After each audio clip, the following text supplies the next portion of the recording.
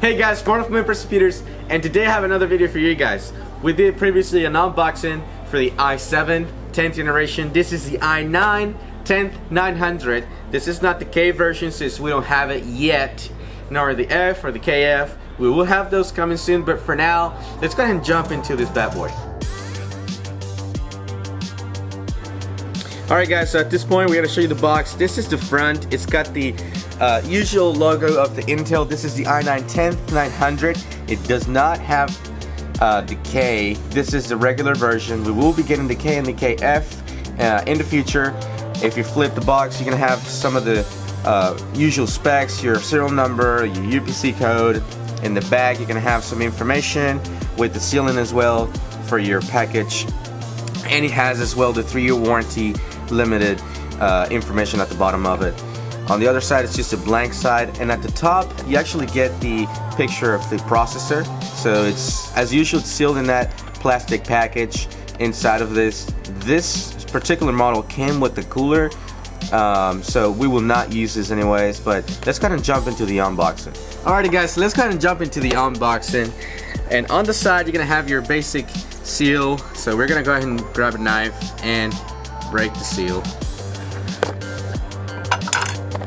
Once we open up the box, what, what we will have is your basic manuals and some information guide that will leave it to you guys.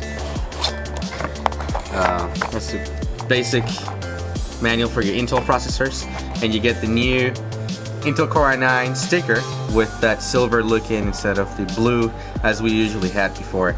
Now as I mentioned this processor comes with its own cooling fan. We do not recommend this um, for this processor. Even though this is the 10900, we will still recommend to get an aftermarket cooler. It doesn't have to be anything too expensive. It is better to have something like that. So let's show you guys the actual cooler. open this up. And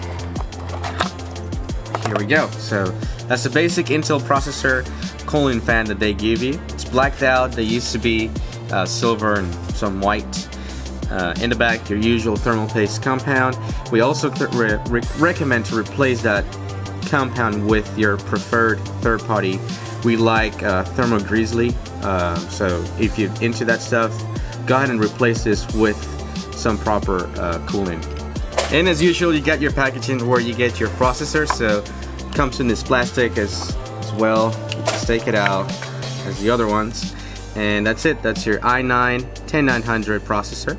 This is a 10 core 20 thread and this is the backside out of it for those who like to take a look at that.